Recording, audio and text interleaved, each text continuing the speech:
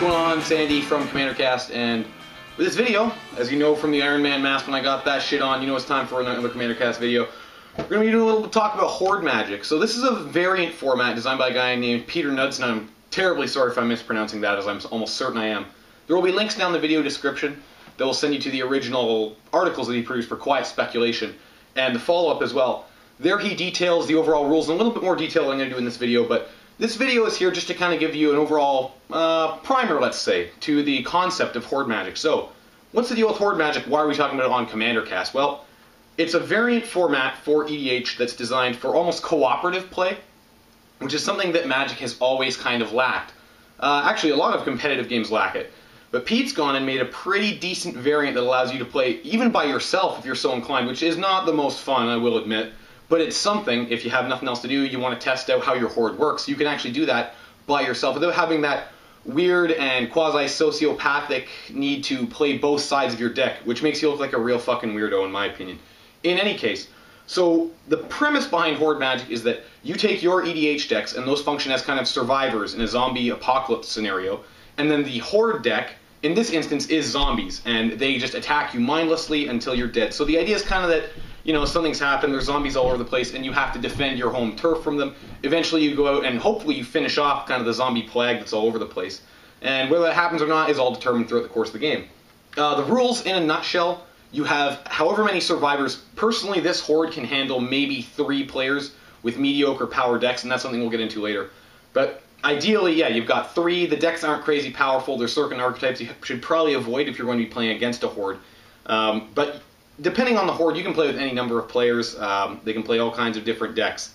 But all you have to do is survive the zombies attacking you. So at the start of the game, the survivor decks, they had a couple turns, and they used those to set up their defenses. The official rule, official rule, is that you have three turns to set up your defenses, lay down your lands, etc. You can reduce that or increase that, I find, as needed as you play against your horde and you figure out how your decks kind of sit against it when you're playing with it. Personally, uh, as the decks got a little bit better in my area, we reduced the number of turns that you got in setup. Also, depending on the number of players you have, that's very important as well. If I'm playing with four players against this horde, normally I'll have no setup time, and the horde just starts attacking you. Sometimes they just wreck you, blow you out. They flip a whole lot of zombies on the first turn or something like that, but normally I find things work out and you end up with a pretty decent game overall. So the, the survivors are basically playing a regular game of EDH. They have their decks, they have their commander, they play their turns as per usual. The only difference is you have a shared life total. For every survivor deck, you have 20 health. So if you have four players, you'll have 80 health in total among everybody. You all block collectively. You all take turns at the same time. So untap, upkeep, draw. That's all done at the same time for every player. And that's pretty much it. There's a lot of cards that you should avoid in your survivor decks. And if you're not purposefully building survivor decks, which is a whole other category of deck building, and that'd be a whole other video, uh, you have to sort of accept that this format has inherent limitations.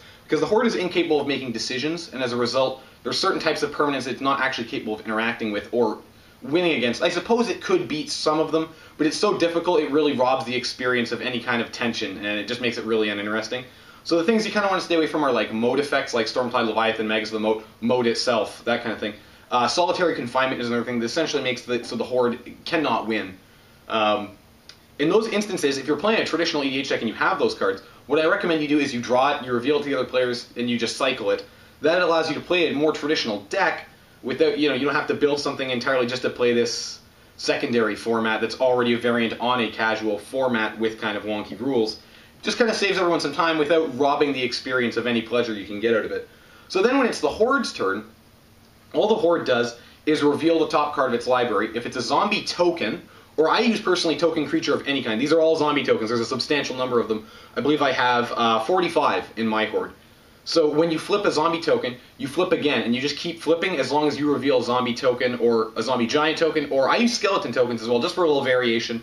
Uh, the regeneration adds an interesting aspect to it. In any case, you reveal the tokens until you get a non-token card. It could be anything. You could get a Lord of the Pit, which is awesome, of course.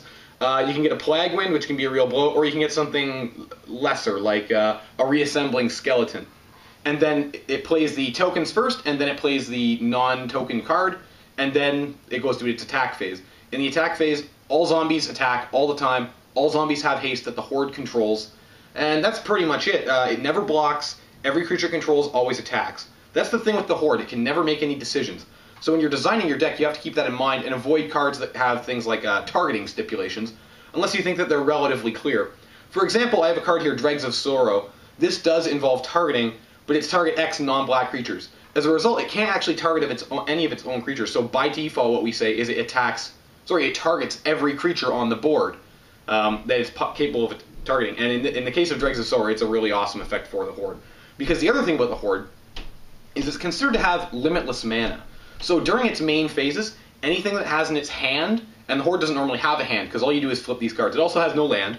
Um, if you're flipping cards, or if it's drawing cards somehow, something like one of your friends is playing a Font of Mythos, that's rough against the Horde because it gets to play everything that it draws as soon as it can during a main phase. So with the unlimited mana, it also creates some other effects.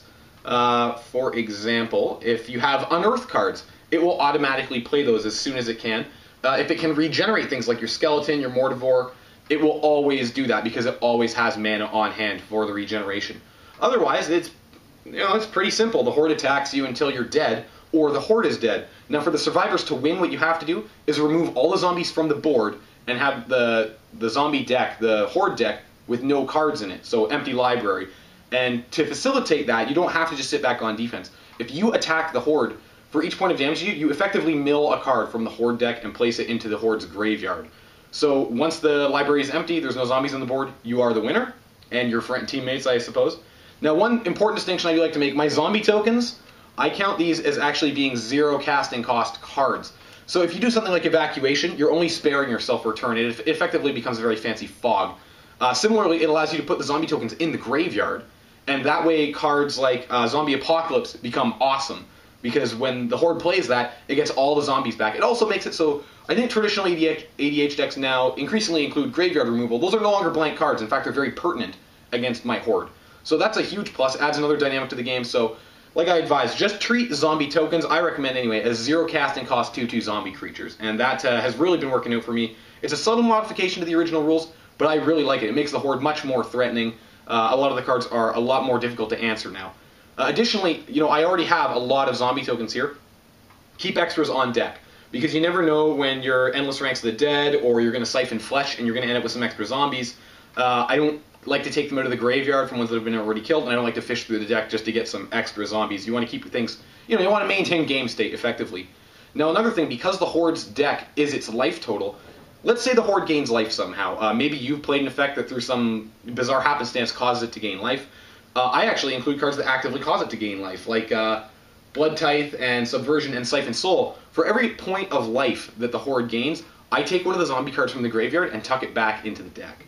Not everyone does that. Personally, I find it adds a little bit of longevity to the Horde every now and then. These cards can be quite effective. Not only do they drain the survivors, but they also give the Horde a little bit more juice, which I kind of like. So the next thing I'm going to talk about here is the composition of the Horde. Now, obviously, you want to have a lot of tokens, because a lot of the suspense comes from flipping the tokens off the top and seeing how many it gets. If you get bull rushed by, you know, 15 zombies at the very beginning of the game, obviously it's going to be a very short game. Those tend to be not all that interesting, but with the setup time, a lot of the time you can mitigate that, and you end up with some kind of very interesting back and forth a lot of the time, despite the fact that the Horde is not actually playing anything against you. Uh, other types of cards you want to include in some kind of removal. So you have to remember the Horde's not supposed to make decisions. Therefore, cards like Barter in Blood, Innocent Blood, uh, Siphon Flesh, Plague Wind those supply the Horde with some kind of removal. Uh, things like Call to the Grave are obviously outstanding for and Grave Pact as well actually forces very difficult decisions. One of the problems with the Horde is that once your survivors stabilize, it's very difficult for the Horde to come back. So something like Grave Pact actually forces them to decide, you know, do I want to block these stupid zombies with my 5-5 creatures? Uh, because in all likelihood, I'll be losing them to the Grave Pact. So Butcher of Malakir I use as a secondary one. Um, and that's another issue I should quickly touch on, I suppose, is non-zombie creatures in a zombie horde, or I suppose any kind of horde. Um, generally, I think they probably work best with the tribal theme. So you can apply a blanket rule, like all the zombies have haste, all zombies are constantly attacking. So let's say you have Butcher of Malakir or the Lord of the Pit. Uh, it's demon, obviously. So it doesn't follow the same rules. It doesn't get the haste. It still attacks every turn, though. And uh, another example, too, with Lord of the Pit is it actually forces a decision. The, the horde has to sacrifice a creature. Usually, if it's a choice like that, you just apply common sense. We normally have it sacrifice a zombie token that happens to have on hand, and then the Lord of the Pit stays on the board, and you get to use Lord of the Pit, which is awesome. This is no Lord of the Pit video. Uh, some other nuances to constructing your horde. you have to decide. It's, it's fairly easy actually to scale the difficulty. Now, some of the randomness you can't account for. If it just happens to flip a lot of zombie tokens off the hop, yeah, you're probably going to lose. That's fine. Shuffle up, play again. But I find the things that actually make the Horde exceptionally powerful are certain categories of disruption cards. Discard is very powerful because the Horde is not affected by it. There's a lot of very strong symmetrical discard effects in Magic. So they can lay that down all day and the Horde will be unaffected, whereas the players are all going to be mumbling and grumbling when Delirium Skins hits. So you also have to consider your zombie lords. How powerful do you want your zombies to eventually be? Uh, Undead War Chief is obviously very strong for the Horde. It adds a substantial quantity of power to just your vanilla 2-2s. Then you've also got little effects like Bad Moon. I've got a Cemetery Reaper in here, uh, Ascendant Evincar, which is cool because it minuses uh, the power toughness of all your opponent's creatures. Generally speaking, unless they're playing a you know a mono black deck. Uh, but yeah, little things like that are ways you can tweak your horde composition. So I'm to bring the camera down here, and then we're going to take a little closer look at some of the specific categories of cards. I'm to talk about why I've included what I have.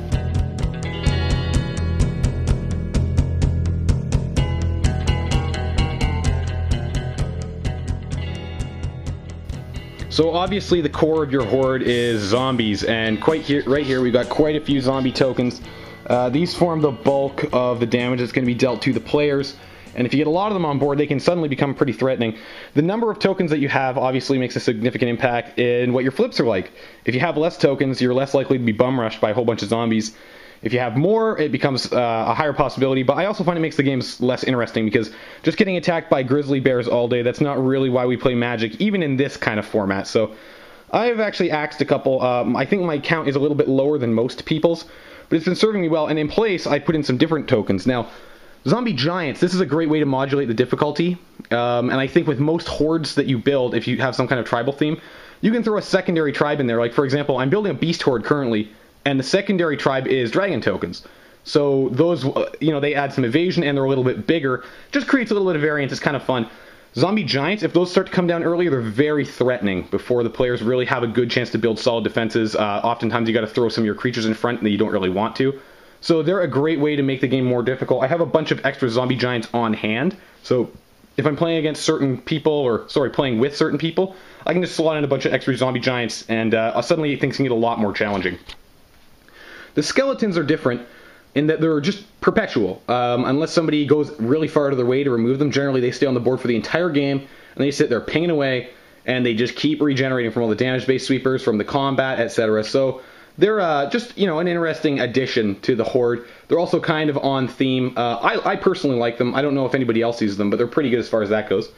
Now, in our other categories of cards, obviously we have quite a few here. I've tried to divide them up into categories, and I apologize for the glare. I don't live in a film studio, so, you know, I'm doing the best I can here. So here we have uh, zombie sweepers, or at least removal of sorts.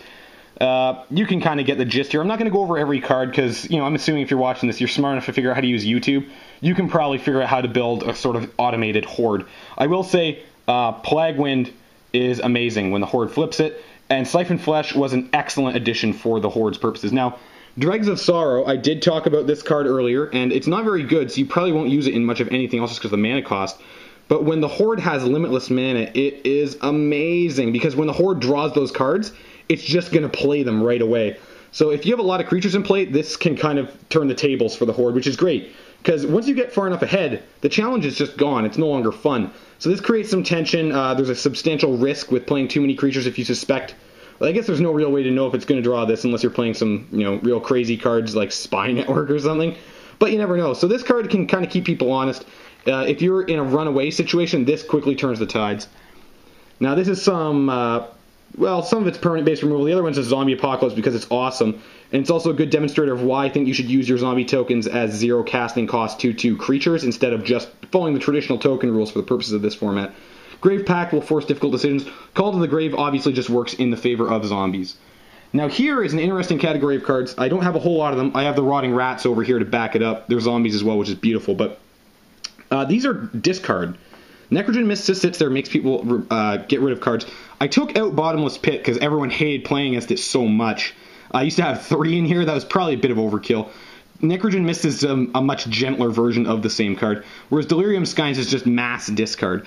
Now, these effects, you know, much like in traditional Commander, uh, they're not very popular to play against, and that's because they are powerful. If you want your horde to be more powerful, just include more of these kind of effects.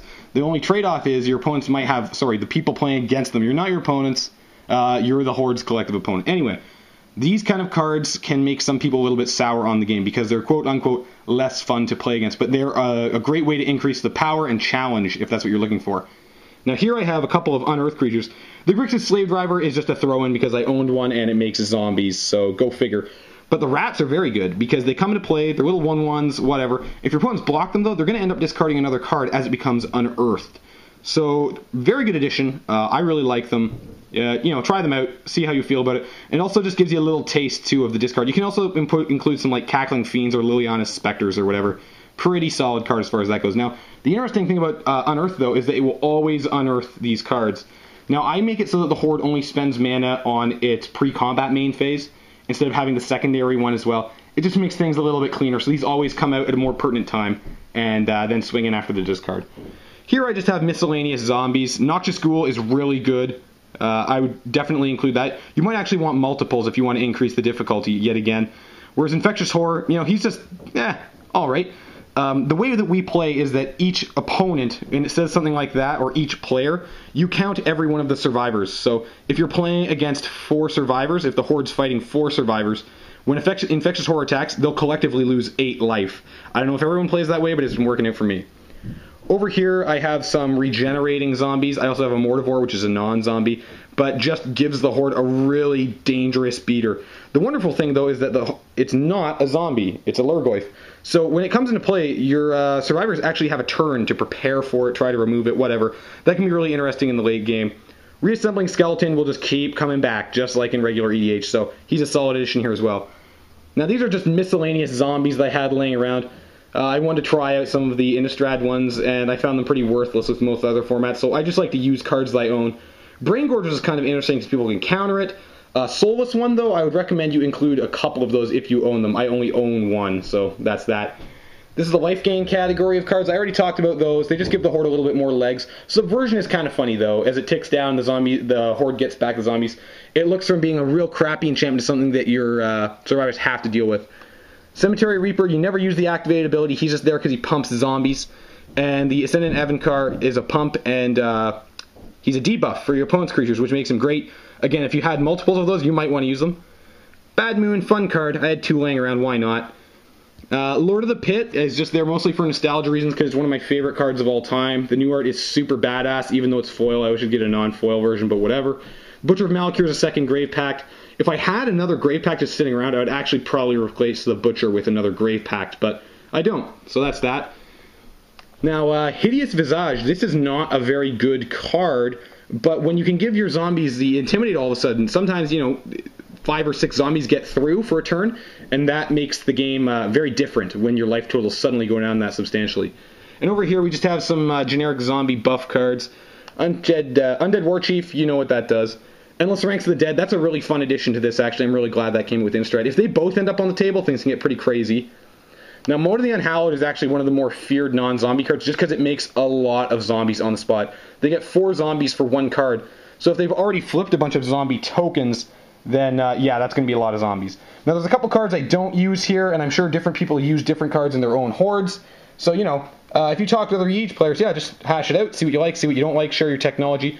So that's an introduction to my horde. Next, I'm going to actually play some games against it and show you guys how it works. I'm going to show you a solo game, and then I'm going to actually play a two versus horde game with my wife.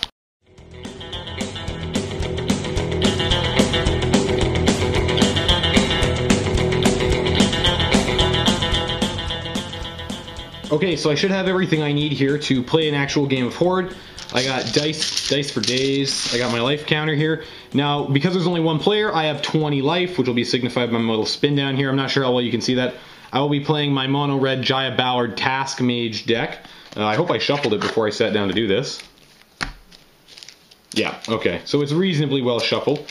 Uh, now, because it's one versus the Horde, we're going to reduce the Horde deck to 45 cards, and I'm going to play against that. If you have two players, it's recommended that you put 60 cards in the deck. At 375, and at four or more, you play with the full 100 card horde. So uh, it's still fairly difficult with 45 cards, and the reason I'm playing a mono red deck, it's not great against the horde. Um, actually, it's rather difficult to play, but uh, most of my decks are centered around non-traditional axes of play like land destruction or hand discard, and they simply don't work against the horde. So there's no point in trying to demonstrate how to play like that. So I've split the horde. This is the 45 cards I'm going to be playing against. This is the remainder. I'll no longer need it. I also have extra zombie tokens on hand, just in case. You never know when some effect's going to create extra zombies outside the horde. So I'm going to shuffle it up. Now you notice because I'm a cheap asshole, I use penny sleeves. Uh, it's 100 sleeves for a dollar. They never break, but you can tell which ones are going to be tokens before you flip. That's not a major concern. It's not like you're playing for money or anything like that. And really, if someone's so determined to get ahead that they're really worried about this, well, maybe this isn't the format for them. Uh, it's not exactly designed with competitive players in mind. So, to begin the game again, I have 20 life. I have my own deck. And here's the horde. They're going to start attacking me in three turns. Let's get it! Okay, so I draw uh, I draw my first hand. One, two, three, four, five, six, seven. Okay, I draw for my first turn. Okay, it's a two-lander, but uh, whatever. We'll see what happens. So I play a land, pass the turn, pick up. That wasn't a land. That's no good. So two mana. I'm going to play uh, Stigma Lasher. I can already hear people at home laughing about the way I build my decks. Deal with it! So there we go, and this is my third and final turn before, before the Horde starts attacking me. Well, that's timely at least, but it's probably not going to help me very much. So I play Journeyer's Kite, and now it's the Horde's turn. So flips. So it flipped two zombies, because these are zombie tokens, and now it's going to play whatever this card is, which is a Rotting Rats, which makes me discard a card. Wonderful. So I'm going to discard uh, Disaster Radius, because I strongly suspect I'll never be able to cast it. So this is my commander up here. I'm going to put my life counter on it. Here's my deck so you can see it, and here's my graveyard. I'm hoping that's not obscuring too much of your view. And then uh, the zombies all have haste, so they all attack. I'm attacked for five. Uh, I'm going to block the Rotting Rats because I have nothing to lose here. It's going to come back into play at some point again anyway, so I'd rather discard some of the high mana cost shit I have now and kill the rats. It goes to the, the Horde's equivalent of a graveyard. Now, again, important to note is the fact that I uh, only let the Horde cast spells on its first pre-combat main. So it's done for the turn. I took 4 damage, puts me down to 16. Now you'll see the life totals disappear uh, at an alarming pace in one-on-one. -on -one. Okay, thank God, I got a mountain. Uh, but uh, still a little bit lacking here in things I can do. So I'm going to just Journeyer's Kite now, grab myself another mountain, put it in my hand, because I don't really have anything worth doing. I have a Radiate in my hand. Uh, sorry, not Radiate, what am I talking about? Uh, the one with Buyback. You guys know what I'm talking about. Anyway, uh, yeah, Reiterate. I've got that in my hand, but I don't think the Horde's going to cast anything I can Reiterate. So I pick up a mountain, put it in my hand, and then the Horde turn, Horde's turn. So it untaps, plays the Rotting Rats. I have to discard a card. Uh, I'm going to discard Distorting Lens. And the Horde flips up a Rotting Fen Snake. Oh, that'll fuck me up. Okay, so again, all the zombies have haste, so they all attack. Now, I'm pretty much going to have to block the Rotting Fen Snake because I need to preserve my life total here. So my Stigma Lasher expires, so does the Rotting Fen Snake, and I take 5 damage, putting me down to 11. Uh, I think this is going to be a short game here, but at least you're seeing how the Horde functions. So this, as per the Unearth rules, are it's going to be exiled, and the two zombies stay in play tapped. My turn again. Okay, it was a mountain. That's a plus. Uh, I don't think I have any guys that can save me at this point, though. Uh, so I'm going to be basically forced into playing Jaya, who can chump block. And then I'm done. Pass the turn. The Horde flips up Abattoir Ghoul. So it's first strike, and if it kills my creatures, it's gonna, the Horde's going to gain life, so it'll get that Rotting Fen Snake back. Okay, that you know what? That's not the worst thing it could have flipped. And it attacks me with all these creatures. Okay, uh, that's 7 damage, so uh, yeah, I'm going to block in the interest of not losing. So I can lose Jaya, which is okay. She goes to the graveyard, sorry, the command zone. I'm going to put her back in there, and I take 5. That takes me down to 6. So I'm pretty hurting right now, and Jaya has expired once. My own turn again. Another mountain. Okay. Uh, well, depending on what the Horde draws next, I'm going to win or lose. Uh, so, might as well go in on Hoarding Dragon. Hoarding Dragon, just a good card in general, but I'm sure if you've listened to Commander Cast before, you already know how I feel about it. And I'm going to find myself something that can give me some life, uh, probably a Basilisk Collar, because that's pretty solid with a lot of cards in this deck just by coincidence. Now, how long will the will the dragon die anytime soon? I don't know, um, but I just need something that can keep me in the game if I manage to stick around. Where did you go? Relic of Progenitus is always tempting to take, though. uh, there we go. Of course, it was right near the top. So I put the Basilisk Collar underneath the Hoarding Dragon and pass the turn to the Horde. And uh, I'm probably dead here, but let's see. Reassembling Skeleton. Okay, that actually gives me a bit of a breather. So it plays the skeleton. Uh, it has nothing in the graveyard. It can reanimate with an unearth, or it has no other spells in hand, so it just goes in with all these zombies. And I'm going to block the Abattoir Ghoul. So it will expire. And I take 4 damage, putting me down to 2, uh, less than healthy 2. And then it's my turn. Untap. Draw. uh, yeah, I think I'm dead. Um, it depends again on what that thing flips, but uh, up, up, let's put Jaya in because I need a chump blocker. That makes me sad, but pay the general tax, put her in, and then I'm done. Horde untaps, flips, Hideous Visage, and I'm dead. Creatures you control gain Intimidate until end of turn. There you go, I talked about that earlier. Gives it that bit of evasion, they sneak through, and they put me under, which is fine. I more or less expected that. Like I said, uh, playing one-on-one against it is actually kind of difficult. So, uh, yeah, that said, you've, you've seen basically how the Horde functions. It's pretty simple, it's pretty mindless, which matches the flavor of zombies pretty well, I feel. So the next game that you see is going to be me and my wife playing a uh, sort of tag team game versus the Horde, in which it'll have 60 cards. So between the two of us, we should have some better defenses to shore up its early attacks.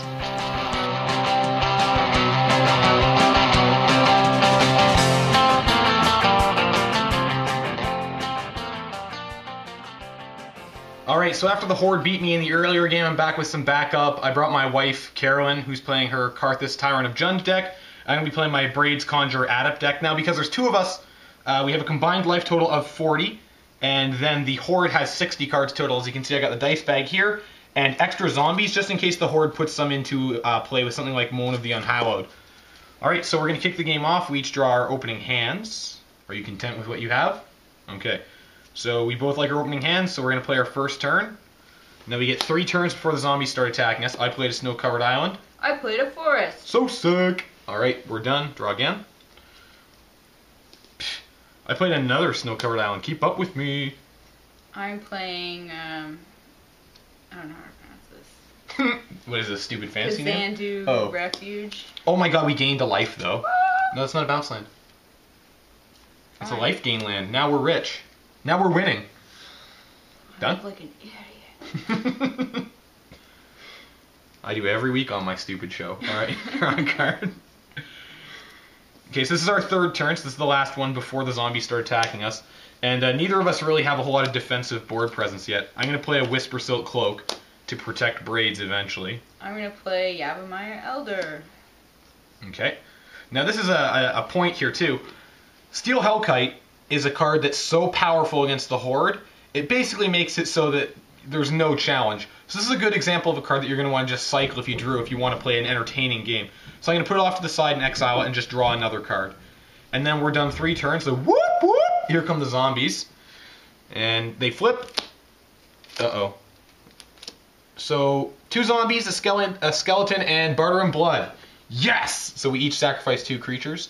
Now, the Horde basically will always make the decision to sacrifice zombie tokens if it can, so all that's left is the skeleton. Skeletons don't have haste, and Carolyn's Yavimaya Elder died. So she's going to get some lands, and then it's going to be our turn. That was sick, Carolyn! Value! What'd you get, Carolyn? I revealed them. A forest, I mean a mountain and a swamp. Nice. Her short-term memory is on the way out, unfortunately. It's a real tragic story. Okay, so when she's done shuffling, then it's our turn again. So untap, upkeep, draw. Always done collectively as a team, just like everything else we do. Except when she's hitting me. And I'm going to play another snow-covered island because I'm a boss like that. I played a mountain. Nice. And I'm going to play braids. And hope to reap the whirlwind next turn.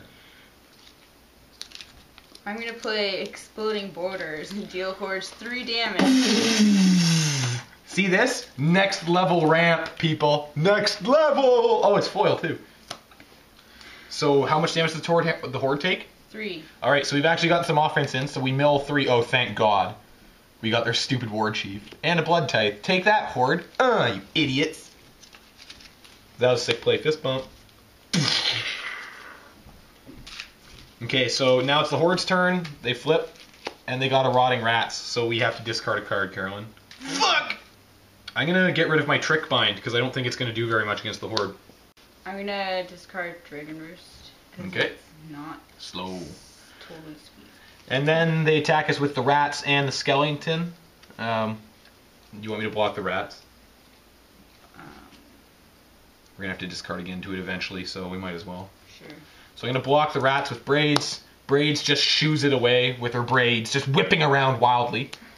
And uh, we take one from the skeleton.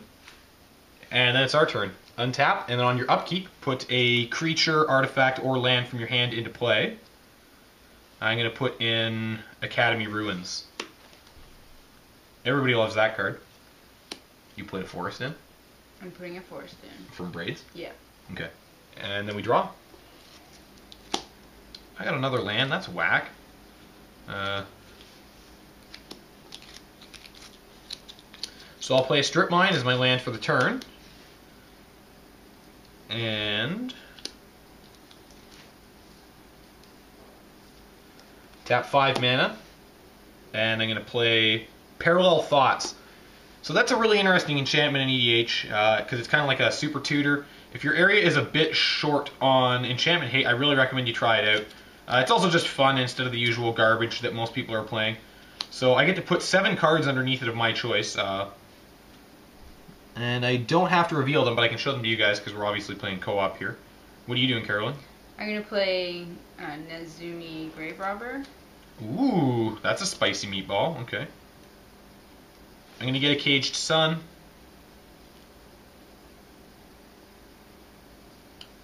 An overwhelming intellect to get some card draw. Uh, trench gorger to put down some serious beatings.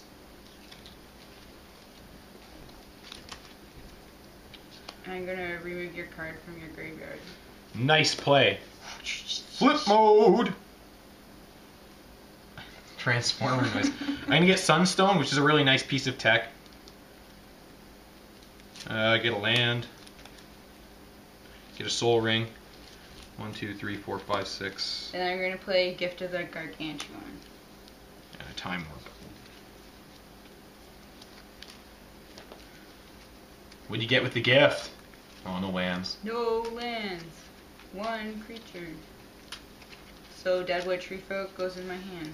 Yep, I'm going to put the overwhelming intellect on top of the stack and hope to counter a creature.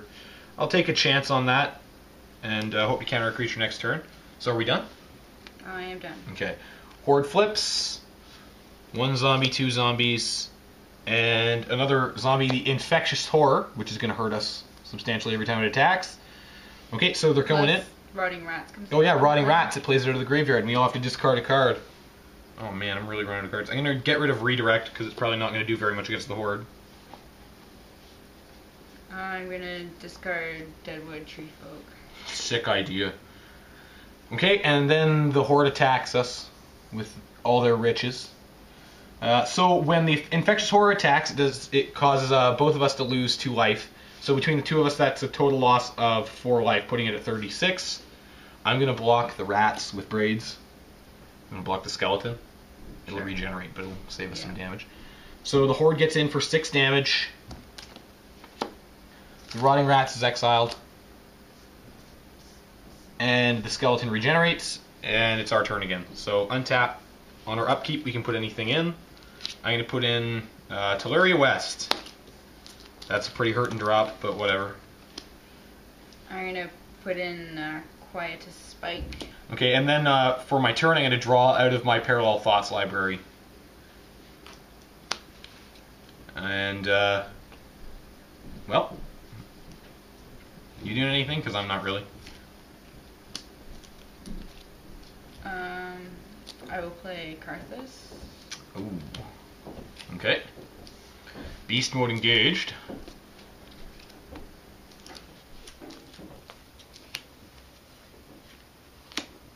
And I will Okay, so Karrthus smashes the horde for seven. So mill one, two, three, four, five, six, seven. Okay, so we got a lot of tokens off of them. And we also put a Rotting Rats into the graveyard, which they're going to reanimate with the Unearth ability on their upkeep. Is that it? Yeah.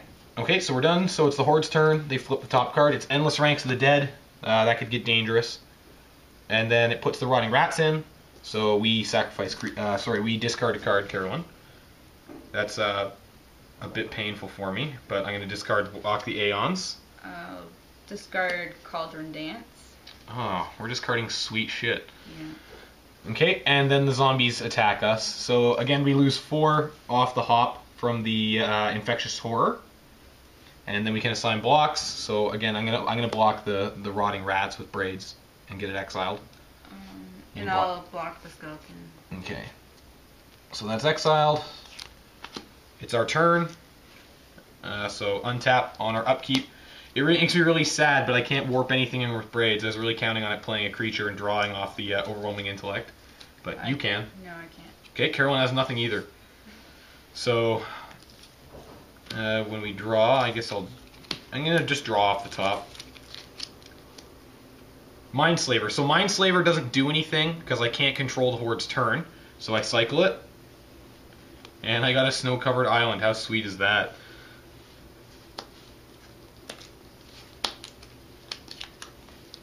I will equip Spike. I'm gonna equip the Whisper Silk Cloak to braids. Combat. She's thinking. Yeah. Okay.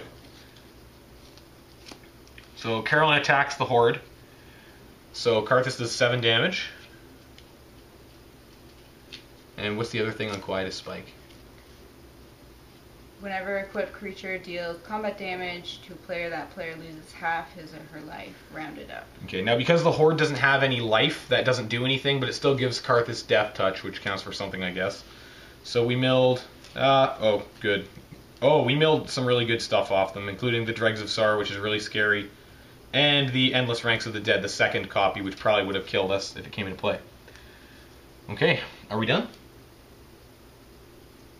Yeah. Okay, so Horde's turn. Uh, it has nothing to reanimate out of the graveyard. Untap it. And Endless Ranks of the Dead, so it has three zombies. So that means that it's going to get one zombie for free. And then it gets some tokens. Two more zombies and a Grixis Slave Driver. Oh, that's money. So I'll counter that using Overwhelming Intellect. And that will draw me six cards.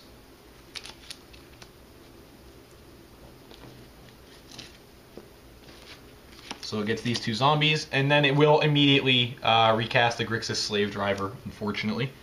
But I will draw six cards out of my stash here. One, two, three, four, five, six, and my Parallel Lives is empty. And now we just have to survive this onslaught here. Uh, Well, I'll use um, this ability. Night Eyes? Yeah, to get uh, something from our graveyard. do you want it from our graveyard or Well, your graveyard, maybe? where good creature. Uh, they just have like zombie tokens mostly, and something that will pump zombies. Oh, not not uh, their zombies though. This might be good. The Abattoir Ghoul has uh, first strike, and we gain life if it kills a creature.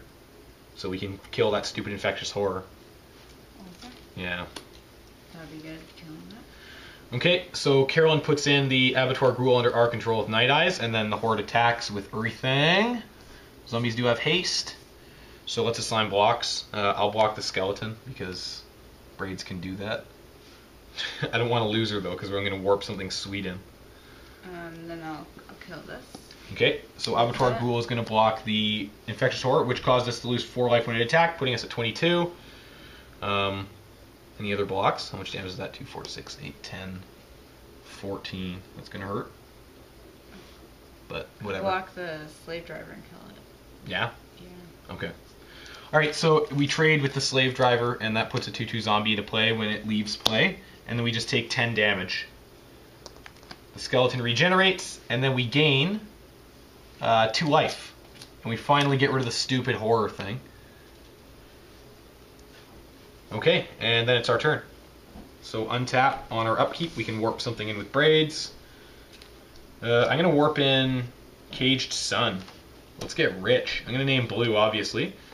So that doubles up my islands. And my Tolaria West, which is pretty sweet. And makes braids a 3-3. What are you putting in, Carolyn? Nothing. Nothing! Okay, uh, then we draw. Alright, it's time to go in. Let's see if we can finish them off, Carolyn. Uh, so I'll tap my Strip Mine to play a Sol Ring. And then, Uh, so right now these are two two. yeah, 2-2 zombies. They don't have any pump. Um, then I will play Molten Disaster. But you'll... two. Ooh! That's pretty funky fresh. And then they die. So Carolyn plays Molten Disaster and blows up all these stupid zombies because they're all stupid idiots. And we take two as well, and we mill two off the horde. Take that, you stupid zombies. And Braid survives with uh, one point of extra toughness from the Caged Sun. So, one, two, three, four, five, six, seven, eight. So I tap eight lands. and I'm going to play Trench Gorger. He's going to be the biggest boy. Uh, I'm going to exile all my remaining lands. Uh, are you doing anything else, Carolyn? Nope. All right, so I drop Trench Gorger in, and uh, he devours 30 lands out of my library. Uh! He's that power toughness. So I'll take all my crap and uh, exile them from the Trench Gour- Gour- uh, Gorger's insatiable appetite. Then I will one, two, three, four, five. Time warp. Let's do the time warp, Carolyn. So uh, target player takes next turn after this one. So that will actually only affect me uh, because me and Carolyn don't count. We count as separate players. Trench Gorger being 30-30, I should probably mark. Now you might play that differently. That's fine. That's just the way that we play around here. Uh, but it's still the first turn. So Carolyn, uh, you can go to combat if you're so inclined. I'll join in. There we go. Okay, so we go to combat. I'm going to attack with Braids. Carolyn's going to attack with Karrthus. Guess which one's going to hurt worse? So that's 10 damage. 1, 2, 3, 4, 5, 6, 7, 8, 9, 10. So we mill 10 cards. And doesn't look like any of it's coming back next turn. Nope. Okay, and then uh, are you done, Carolyn? Because I am done. Yeah. Okay. Uh, I think I might have cheated on a mana cost here, but I have enough mana to pay for whatever here with my Sol Ring. Okay, so my next turn, I untap, upkeep. On my upkeep, I'm going to put in Sunstone. Great piece of tech. And draw. Oh, Magus of the Future. Well, I'm not going to need that. So then, uh, yeah, I'm all in. Let's attack the Horde here for 31, for 34 damage, which is more than adequate when this is at half size to flip it all into the graveyard. The Horde has no zombies in play, just a skeleton, so that means that we win. Great work, Carolyn. High five. Yes!